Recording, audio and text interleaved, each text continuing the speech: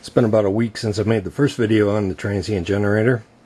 I've made some progress. In this video I'm going to go over a little bit about what's been done over the last week. So this was the original schematic that I showed in the first video.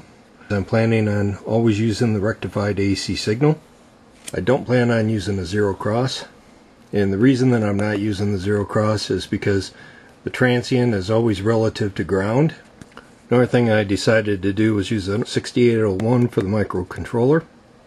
This is a fairly old part from early 80s. It has a 2K of ROM and 128 bytes of RAM. There was no reason for this decision other than I thought it'd be interesting to pull out some of these old tools. So these are some of the tools. This is the original manual for the 6801. This is my programmer for it. This is homemade. You can see the ZIF socket here. The way this works is it's got a dual ported memory. There's a GAL up here just for some logic and a, this is just a latch and a PROM. This PROM contains the program that I use to actually program this device. So you program up this dual ported RAM from an external programmer and this emulates a 2716 and then you hit the reset switch and this device will self-program from the memory and the dual port. And the LCD here gives us the status. Back when we used these uh, there was a HP 64000 workstation that you used to develop them there's also the EXORmacs and the EXORciser from Motorola. Those were quite unreliable. I chose to make my own this is a homemade in-circuit emulator.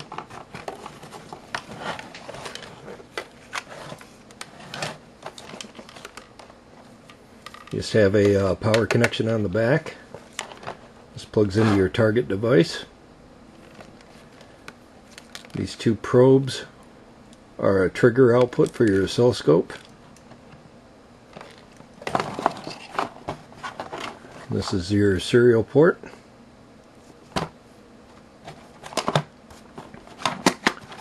Allows you to do single step. You can have an infinite number of breakpoints. It's all done in hardware. Uh, it runs real time. It's an old UV eraser.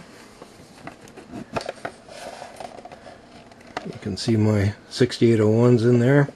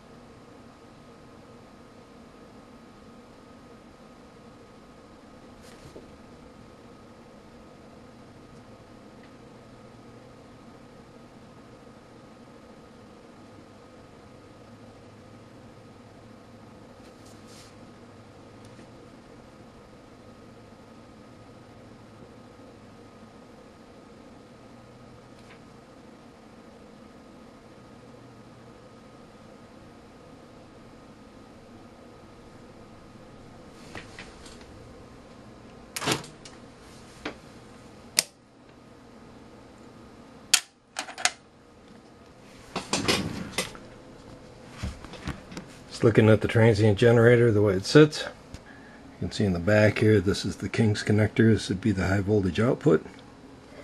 That's what the instrument looks like from the front.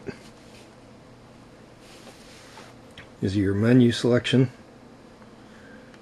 This will turn on the high voltage, and this is for your low voltage. The key turns it on. See the top line here is the time the transient generator has been active. The next is the bias voltage and the bias current. This is the AC plus DC waveform. The next is the capacitor bank charge. This is in kV. And the number of cycles.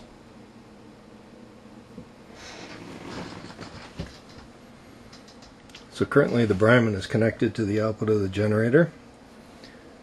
So if we select this button here, this will turn on the output.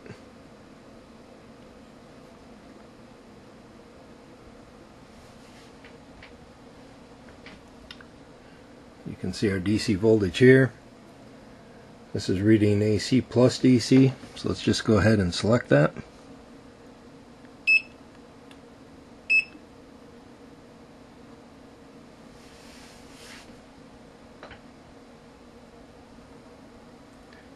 So roughly 270 volts. You just select the button again and it'll disable the bias.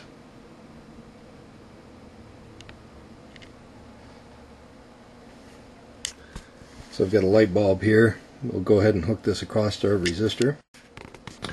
So these light bulbs are only rated to run on 120. It'll survive the 200 volts. So let's go ahead and turn on the output again.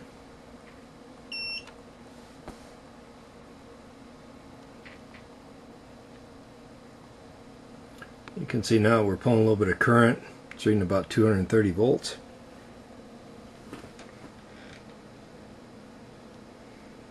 Two hundred thirty-three at about three hundred and seven milliamps.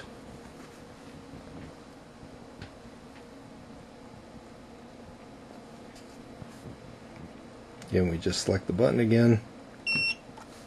We'll turn it back off.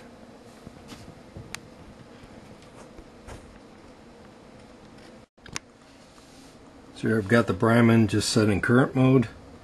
It's basically in series with our light bulb and our resistor. We'll go ahead and turn our load back on. And we can see the Brymen is reading roughly 329 and 315 here. So it's about 15 milliamps off. All these are adjustable. So we can go into the menu here.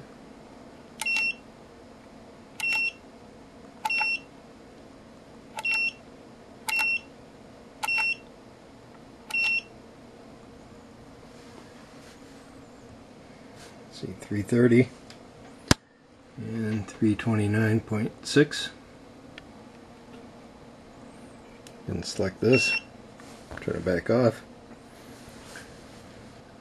Again, I don't have any of the high voltage circuitry installed,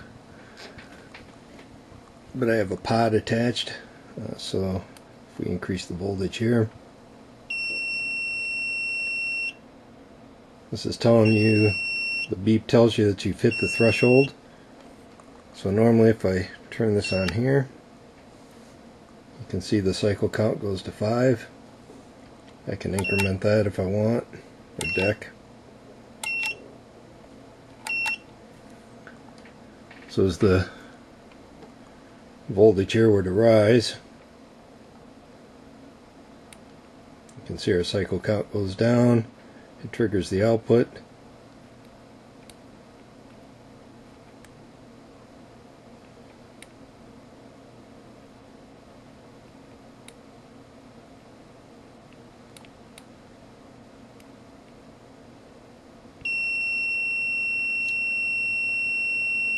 Tells you that it's completed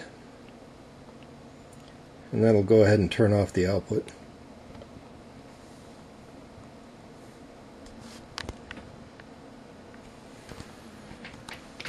So the software is basically completed. Next step is really to get the high voltage circuitry installed.